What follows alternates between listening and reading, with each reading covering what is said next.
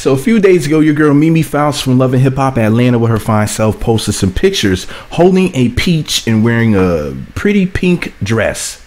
And it's crazy because people on social media, you know, they started talking about it and I saw some things being said. This is what I heard. This is just rumor, internet rumor. I don't know whether or not this is true, but they're saying that Mimi Faust joined the cast of The Real Housewives of Atlanta for season 13. Now, I don't know how this affects her on Love and Hip Hop Atlanta. Heard she's coming back for season 9. However, I don't know whether or not she can do season 10 of Love and Hip Hop Atlanta and Real Housewives of Atlanta season 13. Now, I'm amazed at myself and give me props, give me credit because I was able to get all of that out without stuttering, stammering, or ruining it. So I, I am proud of myself right now. Now, back to my girl Mimi Faust. On the pictures on Instagram, she said ATL Peach with a peach emoji. And you're definitely an ATL Peach. Isn't she from LA or Chicago or so where's Mimi Faust originally from? Somebody let me know. I thought she was from like LA. But anyways, she basically runs Atlanta. She's the real true star of Love and Hip Hop Atlanta. Everybody else is pretending and faking. Well, her, Carly Redbone, and Rasheeda Frost. Everybody else is just there.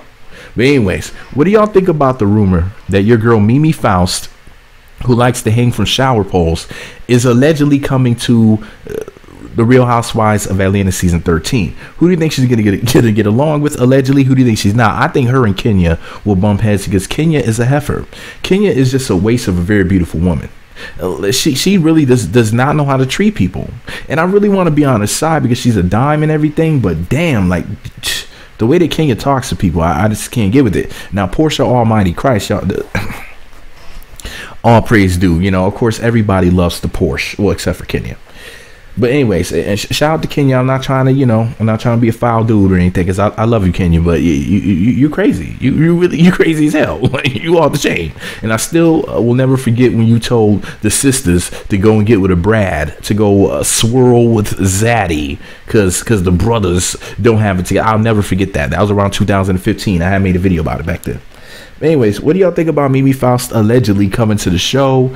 You think it's a good idea? Do you think it's a bad idea? I need y'all to let me know what y'all think about it in the comment section. And before I go, the secret password to say in the comment section is Mimi two checks because she's allegedly getting two checks, like two chains. Shout out to 2 Chainz. Allegedly, she's Mimi two checks now. Allegedly, do y'all think that that's a good thing? Do you think it's a bad thing? Do you think this is just made up and the internet is just talking?